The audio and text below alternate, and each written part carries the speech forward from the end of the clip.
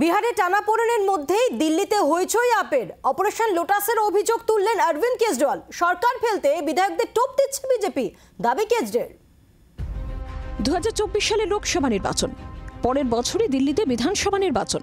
তার আগে দিল্লিতে অপারেশন লোটাসের অভিযোগ তুলল আম আদমি পার্টি। কেজরিওয়ালের অভিযোগ সরকার ফেলতে সাত আপ বিধায়ককে দল বদলে টোপ দিয়েছে গেরুয়া শিবির এই নিয়ে এক স্যান্ডেলে পোস্ট করে দিল্লির মুখ্যমন্ত্রীর দাবি তাকে গ্রেফতার করার বিষয় নয় বরং তার সরকার ফেলার বৃহত্তর চক্রান্ত করছে বিজেপি সরাসরি ঘোড়া কেনা বেচার অভিযোগ আপের भारतीय जनता पार्टी आम आदमी पार्टी की चुनी हुई सरकार को गिराने की कोशिश कर रही है आम आदमी पार्टी के सात विधायकों को भारतीय जनता पार्टी ने संपर्क किया है।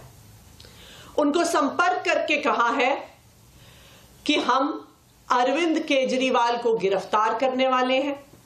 अरविंद केजरीवाल की गिरफ्तारी के बाद हम आम आदमी पार्टी के विधायकों को एक एक करके तोड़ेंगे। उन्होंने कहा कि हम आम आदमी पार्टी के 21 विधायकों के संपर्क में हैं। भारतीय जनता पार्टी ने हमारे इन सात विधायकों को 25-25 करोड़ रुपए का ऑफ़र दिया। आम आदमी पार्टी छोड़कर भारतीय जनता पार्टी में आने के लिए। दुर्नीति ढांकते विक्टिम कार्ड पाल्टा बीजेपी।